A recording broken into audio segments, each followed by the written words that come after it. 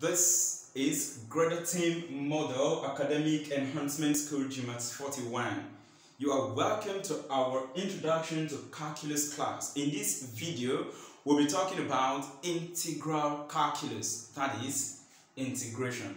And don't forget, here we make you appreciate your learning. We'll make learning fun, targeted for you.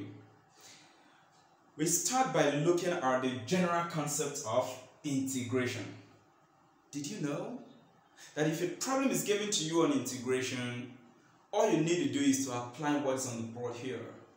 The technique observation sequencing pattern. And what does that mean?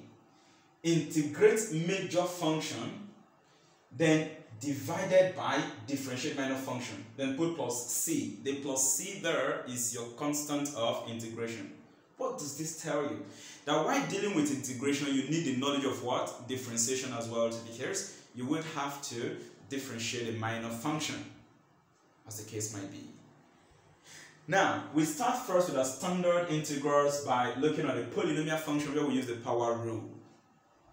Imagine you're given dy to be equal to integral f of x raised to the power n dx. This is a polynomial function because of that power n. That n is an integer. It can be a whole number, it can be a fraction, a negative or positive integer. Is that okay? Now, how do we obtain our integral value for this? Simply, integral dy will give us y. Please, I will explain how integral dy actually give us y. Even so, integral dx will also give you x. How? In our subsequent videos, I will take my time to explain that. Is that okay? Now, integral dy will give us y equal to, you come here, how do you integrate this f of x raised to the power n with respect to x? How do you integrate that? First, identify your major function there, which is n. That is what made that a polynomial. Then identify your minor function, which is f of x. Then we proceed. To integrate polynomial functions, the power rule is applied. Add 1 to the major function, which is n. If you add 1 to it, then divided by that new power which you got by adding 1, you are not done yet. Remember that in the denominator, you will likely expected to have derivative of the word minor function. So, we will go to the minor function f of x and then differentiate it with respect to x. Can you see that? The f of x over dx.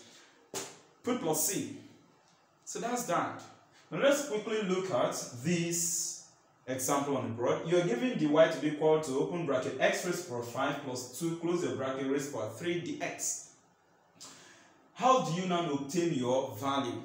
Some would go through the reversal of chain rule saying let u be equal to x raised to power 5 plus 2 then everything raised to power 3 but it's not necessary we can actually work around that without reversing chain rule okay using this standard brought out already with this we'll quickly identify our major function and then identify our minor function once something is carrying this differential coefficient dx dy simply know that to get your result you have to integrate okay so I will introduce integration here, integration here, you can see that.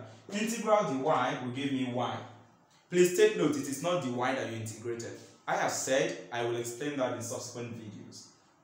Then you come here, you know that this is your major function, so add 1 to that power. If you add 1, you get power 4. So you're going to have x raised to the power 5 plus 2, all close bracket power 4, then divided by that new power 4, times differentiate the minor function. You can see that here.